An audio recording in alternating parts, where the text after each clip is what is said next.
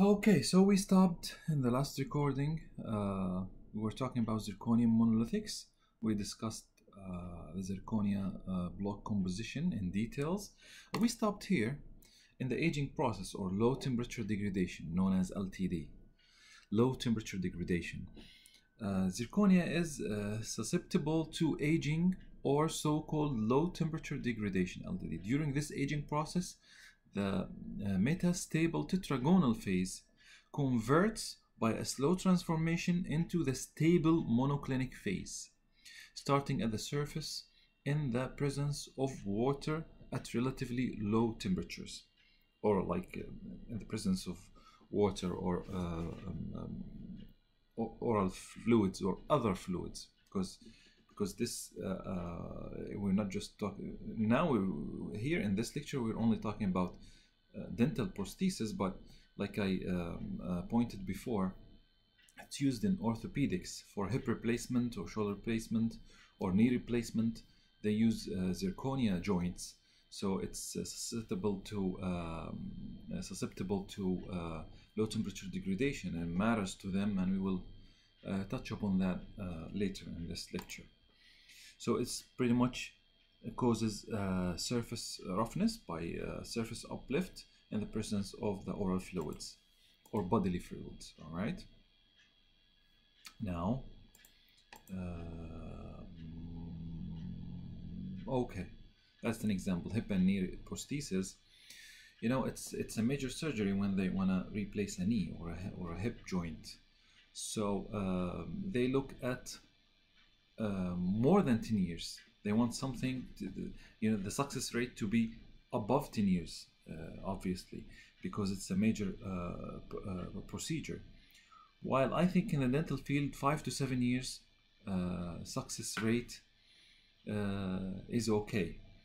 I will show studies that will talk about success rate for certain prostheses, PFMs and zirconia, up to 10 years, and there's the, up to 25 years uh, study on PFMs as well. I will show all of that, but I wanted to point out that it's very important. Low temperature degradation is very important in orthopedics and as well as in the dental field. All right.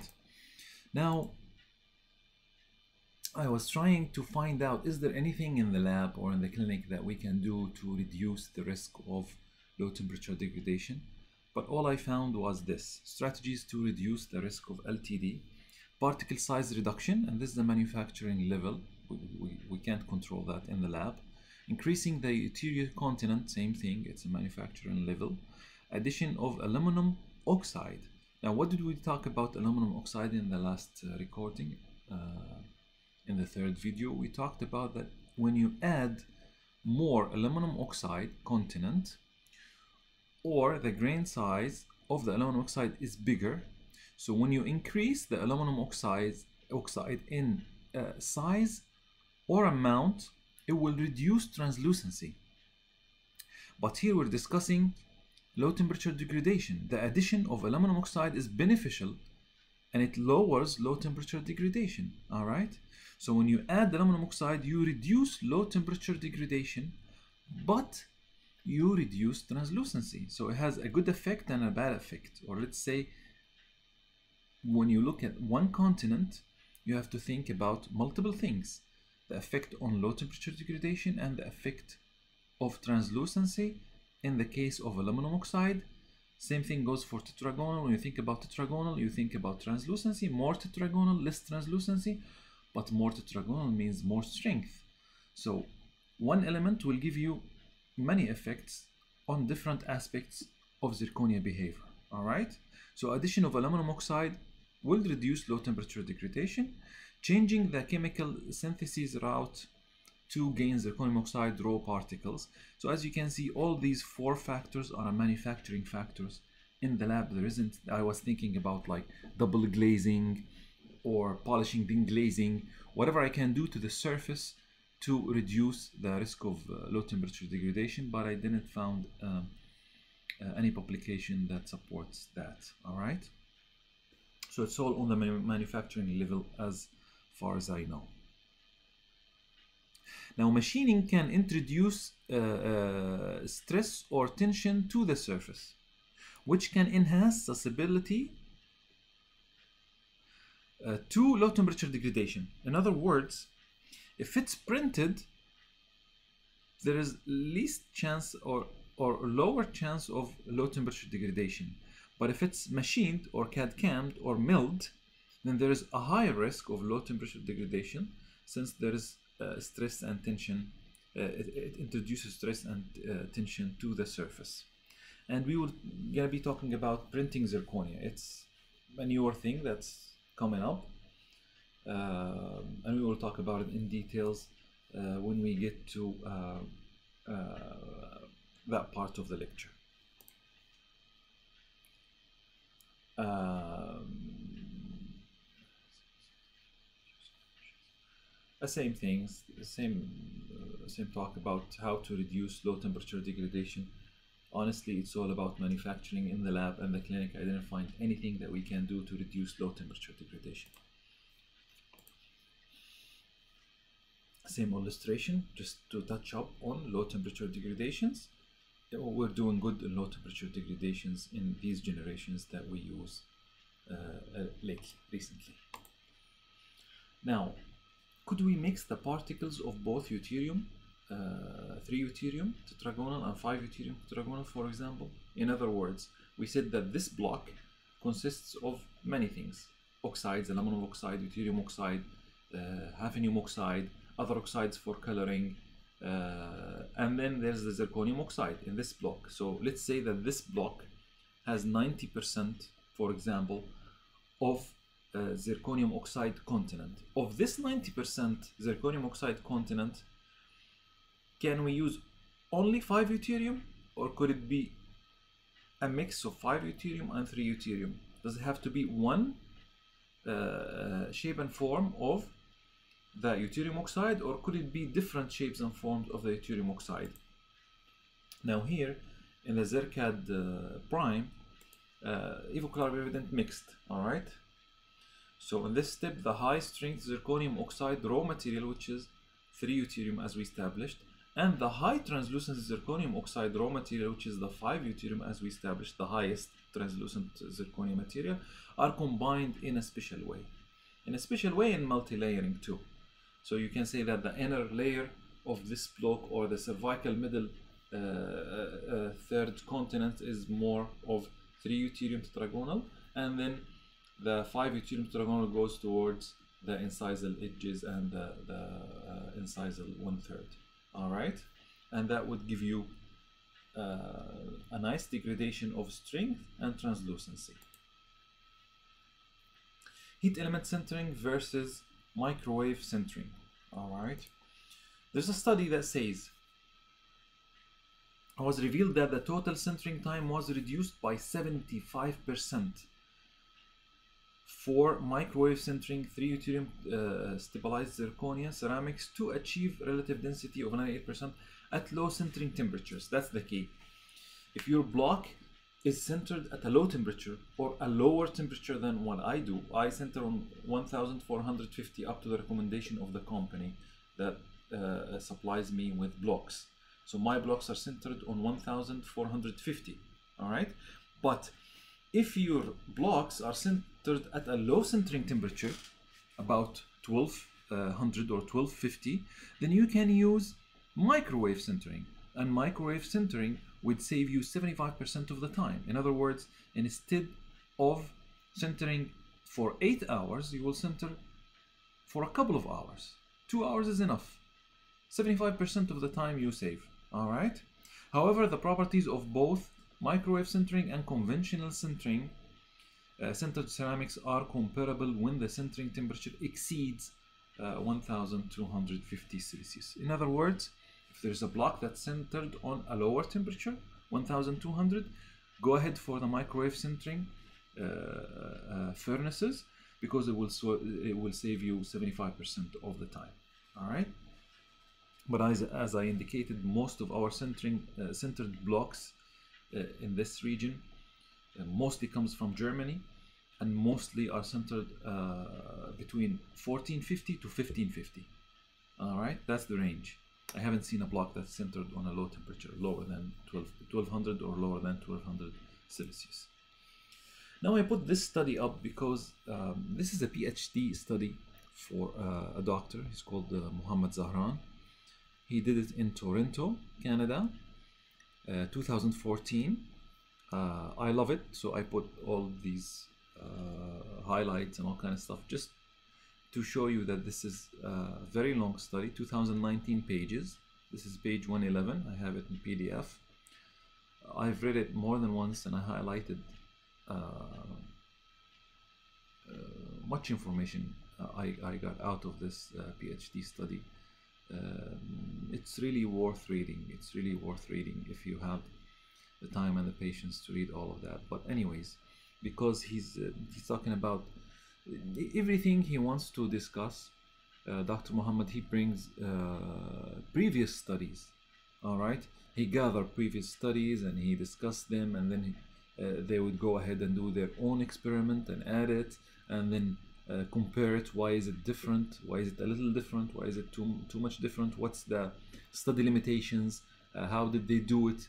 What's the testing mechanism? It's just beautiful. It's it's it's something else. If you have the time to read this PhD uh, study, it's it's worth reading, uh, honestly. It says here in this part, this is what I want to quote from it now. The tetragonal crystals in these zirconium oxide ceramics are metastable and can be transformed into larger monoclinic crystals with the application of stress from cracks or flaws. This phenomena is beneficial in hindering crack growth and increasing fracture toughness. Hence, it is referred to as transformation toughening. Transformation toughening uh, is one phenomenon that exists in zirconia. It doesn't exist in lithium disilicates or in other porcelains, especially for zirconia. Uh, it, it pretty much the conclusion of it, you have a tetragonal zirconia now, and there is a crack. This, this surface crack is trying to uh, do a propagation, go inside the inner layers of the zirconia. This pressure from the tip of uh, the crack will will will uh, uh, will do this effect on the tetragonal zirconia. This tetragonal zirconia, by the effect of uh, the head of the propagation uh, uh, crack, will change, transform to monoclinic, larger size shape of zirconia that we talked about, the to, monoth- to monoclinic phase zirconia. This monoclinic phase zirconia has larger size particles and it is capable of hindering or stopping the propagation mechanism. So it's a, a, a, a, crack propagation stopping or hindering mechanism. It will stop the crack from going deeper inside of the deep uh, uh, layers of this zircon zirconia. All right. So it's a good phenomena. It will stop, not though, uh, not heal or not close uh, this crack. The, the crack is there and it will remain there, but it won't propagate more. It won't go inside the deeper layers of zirconia. And this phenomenon is, is called transformation toughening. Now it doesn't exist in lithium disilicate or in other ceramics. I looked for that. It's a specific phenomena that exists in, in, in zirconia. Now, on the short in the, in, on the short term, let's say that this is really good, and it's a good phenomena, and it helps uh, uh, the zirconia because in, in other products, once there is a crack, it keeps propagating until it breaks and causes the failure of that prosthesis. But this is a, a, a good thing in zirconia, transformation toughening. Uh, but in the other hand, don't forget that there is low temperature degradation. There is always cracks in the outer surface of zirconia. And these cracks, when they're multiple in the outer surface of zirconia, even if they cannot uh, propagate inside of the zirconia, they would cause eventually failure of this zirconia outer uh, layer or outer part. So that's why you see uh, chipping uh, of the zirconia and you see uh, um, more chipping in the, in the, in the outer zirconia. Now, we used to see uh, uh, failures between the bond of the zircon of the ceramics uh, bonded to the zirconium uh, core too, and we will discuss that later.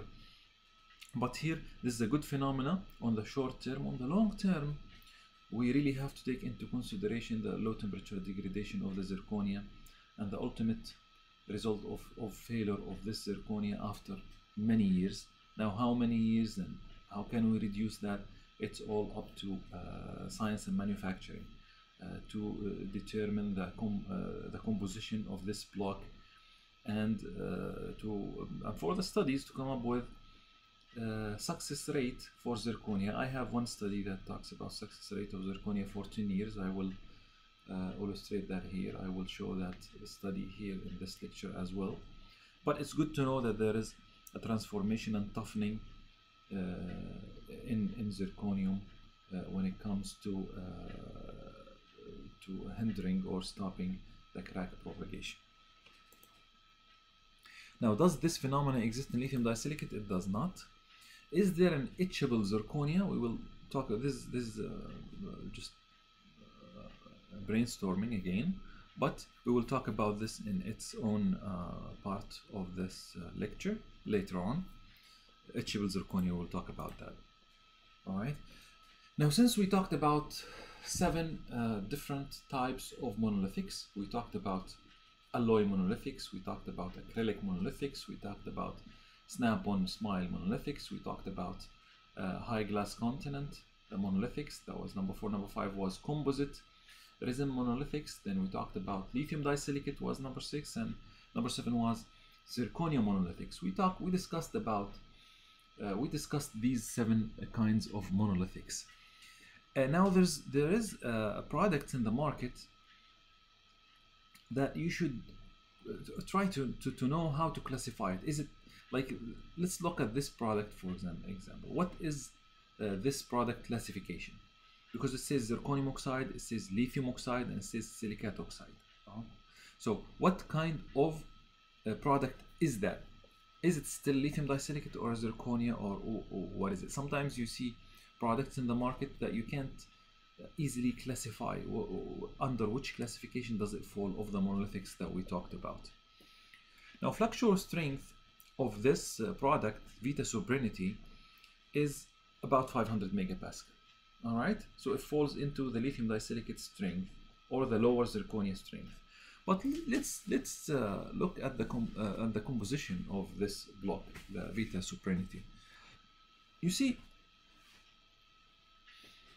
that's the continent of, of uh, that's the continent of zirconia. Zirconium oxide is 8 to 12 percent. So very minimum uh, composition of zirconia. Whether the, the, the lithium oxide, silicate oxide, so it's more of lithium disilicate or high uh, silicate glass. But yes, they put lithium disilicate in there, 15-21% lithium disilicate, and they put a little bit of zirconia, say 10% of zirconia in that block. But the end of the day, it's a lithium disilicate block. That's what I want uh, to tell you. So you will see that some products are infiltrated with zirconia or infiltrated with glass or infiltrated uh, uh, uh with other uh, uh, components. But the end of the day, what's the cluster and what's the matrix and what's the, the, the major continent of that block would make the difference really. So can we enforce glass ceramics with zirconia particles? Yes, we can. Can we mix lithium disilicate with zirconia? Now, we're not talking about infiltration. We're talking about, say, 50-50 uh, mix or 40-60 mix, whatever. Can we really mix zirconia and lithium disilicate? And why would you even think about mixing such two different uh, uh, such two different materials together? Uh, the answer would be uh, by you would hope that mixing lithium disilicate will give you the etchability and the glass and the high translucent of the lithium disilicate and that the zirconia would give you the strength of zirconia and, and can we mix it together or not. Now there is something, a study uh, by Dr. Zhu Yang uh, you know the, the, the very uh, the very short outcome because it's really uh, a long study that's really complicated for a person like me. It's too much chemistry, as simple as that. So GZ G offers better resistance to immediate flexural damage, better aesthetics, and potentially better veneering and cementation properties over homogeneous zirconium oxide yttrium stabilized zirconium. So what does this mean? The conclusion was using a combined glass infiltration densification technique GZG with a graded structure can be fabricated. So Dr. Zhu Yang uh, proved that it can be fabricated. I don't know of any block or any final product in the market uh, that was made with this technology, but at least it's proved and, uh, that it can be done. All right. It offers better resistance to immediate flexural uh, damage, better aesthetics, and potentially better veneering and cementation properties over homogeneous yttrium stabilized zirconium oxide. All right. Now, this is Dr. Uh, Yu Zhang from New York University College of Dentistry, and he was awarded nearly 3.7 million by uh, National Institute of Dental and Craniofacial Research to carry on with his uh, research um, researches. Uh, if you Google, if you uh, Google on Google Scholar, Dr. Uh, Yu Zhang, you will find much, much publications and scientific papers talk about dental materials and materials in general. It's just it, it's a lot and, and, and uh, it's beneficial actually. I have benefited a lot from the papers of, of Dr. Zhu Yang uh, as well as Dr. Edward McLaren and others. And uh, all institutes, you know, many institutes uh, that publish um, their vision of work I have benefited from actually. Uh, but anyways, so go, going back, so you can have or it's uh, Dr. Uh, uh, Yu Zhang proved that you can mix lithium disilicate with zirconia. It's possible. It's doable. It's manufacturable, as if that's a term. You know, you can manufacture something, a mix, but it's it's it's a complicated process. It has uh, infiltration and uh, densification, and you know, it has it's a complicated process to come up with, say, I don't know, a block or uh, powder or uh, injectable, some form of material that is a mixture of both uh, lithium disilicate and zirconia and gives you uh, both uh, specific both uh, properties for cementation, translucency, and strength. All right. So that would be a breakthrough if it comes out. Imagine just just not having to choose between lithium disilicate and zirconia anymore. Just you know use one block that works for all, you know, it's amazing. Okay, now there isn't anything really that's called monolithic abutments, but I put it up anyways because we're talking about monolithic and uh, some abutments are, you know, uh, prefabricated abutments, castable abutments, all kind of abutments we can discuss in this uh, section. It's not really a part of monolithic versus layered lecture but I said I'll put it up anyway monolithic abutments just to see what kind of abutments do we have and if we want to apply a classification of monolithic and, and layered which does not really apply but if we want to uh, think about this classification in relation to abutments all right so uh, this is a slide that I come up with abutment selection say that you got an indirect implant impression a post analog and a model port. Now you have a model. In this model, there is an analog. Now you are up to the abutment selection, right? You want to select your abutment. What choices do you have? First of all, there's the trans, uh, transfer abutment, which is the abutment that transfer the relationship from the impression to your cast. And you can use this transfer abutment, cut the, the, the, the, the transfer part of it, the, the top part of it, and then the remaining is your abutment you use it as an abutment. So it's a transfer and an abutment at the same time. Uh, other kind would be uh, preformed abutments you know. The preformed abutments we always have to discuss the size. And and us dental technicians refer to size. What's the size of this abutment? Well size could be many things. Size could be you should you should when, when you when you say size you should think of three things. Diameter right? 5.0 3.5 3.0 4.5 whatever 4.0 so there's a diameter of that abutment and there is cuff size which is the height between the upper rim of the abutment itself the analog in your model and the margin line of that abutment the neck all right? The neck of the abutment the cuff size and then there is the coronal, length. Some companies give you coronal uh, length uh, as an option. Like you can choose 2 millimeter cuff size and 5 millimeter coronal length for like deep or high uh, prosthesis long prosthesis all right? Uh, and most companies don't give you coronal length. They just you just choose the diameter and the cuff size when it comes to preformed abutments now that's talking about the, si- the size diameter cuff size coronal length. Then you should discuss angulation. The angulation of that abutment you know it's diameter 4.0 you know the cuff size is 2 millimeter for example. The coronal length is set for example. You know the angulation 15% 25% and there is abutment material. And you should say a zircon abutment of 4.0 diameter within a 15 degree angulation.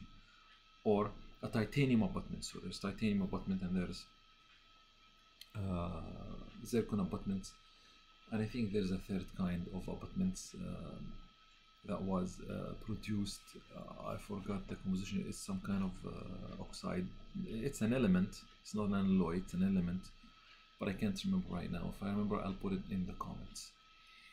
Uh, anyways, castable abutments. There's two kind of castable abutments. There's the gold adapted UCLA. You know, University of California, Los Angeles invented this type of uh, abutments. UCLA the gold adapted that you can cast. It comes with a prefabricated hex with a plastic part on top of it. So you can play with the plastic. You can cut it, chop it off. You can add to it wax on top of it.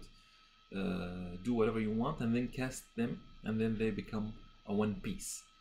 But it's pretty much uh, multi-layered. It's more than one layer and you've used it together. Okay.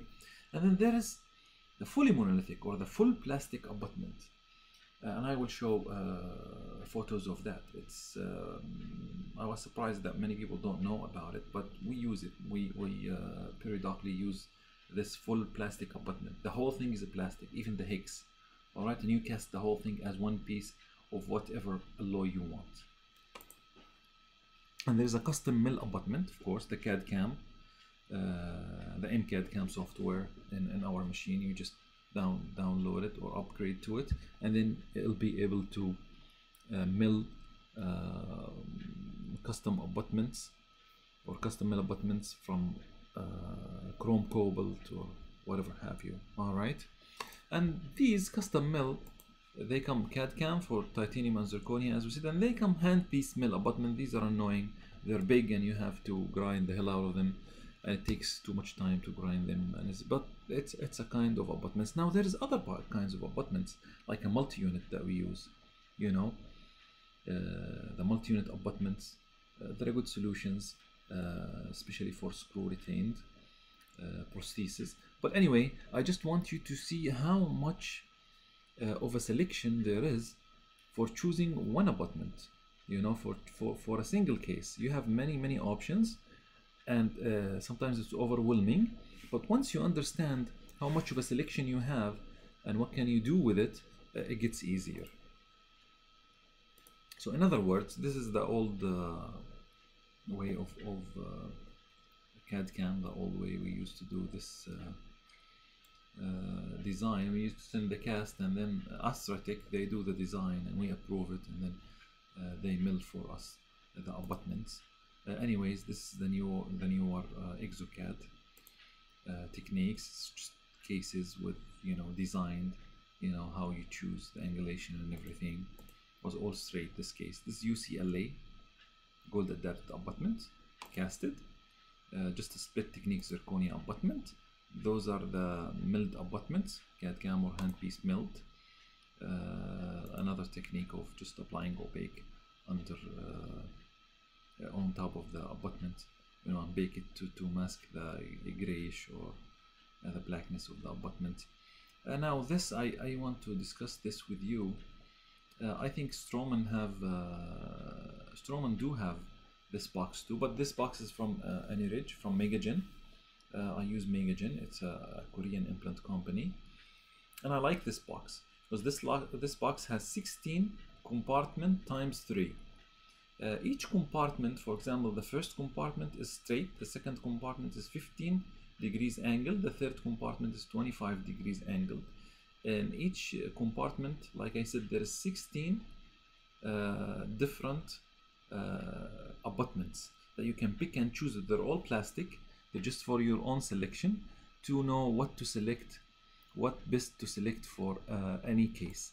Uh, for example, for this case, we uh, we manufacture the CAD cam lower uh, full arch uh, temporary material okay uh, on on temporary abutments the doctor had temporarily cemented this lower course this is the lower part of the articulator but it's inverted. That's why you see the lower as a top but this is the lower part. And then we did a final zirconia uh, bridges on the eight uh, abutments on the eight uh, uh, abutments on the upper jaw. All right? So this was final. The upper was final. So for me to choose the abutments here the final abutments i have this box. So you pick and choose the height of the collar the diameter the, the depth which is the height the kind of the coronal length and everything all right? So you can only call the doctor you can simply call the doctor and tell them i want uh, number six uh, red one number six uh, purple for example uh, or pink one number six number five red two. And you know if you have the abutment you can uh, pick and choose the abutment itself too you know? So anyway instead of having big confusion about what to choose what abutment works better you can try all of them you know or most of them and see whatever suits this case as the ultimate selection the best selection. And then just call the doctor and order or call the company and order specifically these. Because sometimes we really have a hard time. You you call the company tell you do you think you need angulated you said yeah i think i need angulated they would go you think you need 15 or 25 i'm like i'm not sure. Send both and i'll ship it back to you if it doesn't work or send the uh, you know it's just this makes selection very very easy. If you if you buy this box for one time and you use the same uh, the same uh, of course this only works with Megagen. If you want something that works with uh, with Straumann or with uh, Nobel Biocare or with other companies Implant Direct whatever have you. Of course I would assume that they have a different box and a different color coding and a different cuff sizes and everything uh, for your cases. But it was a big help. Anyway we talked about monolithic abutments. These are the plastic abutments from CWM uh, another Korean company that we uh, use here uh, in the Middle East a lot it's fully castable it's unthreaded from inside and it has hex and everything and then uh, you just uh, cast it. This case for example I had a UCLA and I had a fully plastic castable. Uh, you cast both you know? Put the margin line where it goes. Here is the castable uh, in a different view. You know you put your um margin the way you want. You can make it wide you can make it narrow you can do whatever you want and that's a casted hex well of course anything casted the snug fit or the fit of it is not uh, as precise and as snug as the prefabricated of course. And that's one uh, positive uh, uh, thing about using UCLA because it's prefabricated hex the connection with the hex is perfect perfect fit. It's just snug fit. With the casted you will feel that there is a fit and everything is fine but i guess nothing casted gives you the same exact fit as prefabricated. So usually we use it like this. You don't depend on it by itself. You usually use it with uh, uh, castable uh, with UCLA castable abutments. Like say that we have four or five implants and it's a one unit bridge prosthesis that will be uh, fabricated on top of it you uh, choose some of it the, the extreme uh, angulation, okay, you can use it from uh, this kind, which is the fully castable plastic, but you have to include, or it's better that you include UCLAs for a good uh, fit, uh, for a good uh, fit of the hex. So anyway, I get I get them used most. I get them mixed use most of the times. Not this by itself, but a mix of UCLA and a fully castable. That's that's uh, for, for especially for larger cases. Anyway, that was for monolithic uh, abutments. Now we can talk about handling for a little bit. Oh, actually, this is a 35 minute video. I think I should stop right now and talk about monolithic prosthesis handling. Uh, whether it's alloy monolithics or uh, zirconia or lithium disilicates, we will talk about monolithic prosthesis handling in the next recording. That was the seal uh, of my fourth video. Thank you for watching.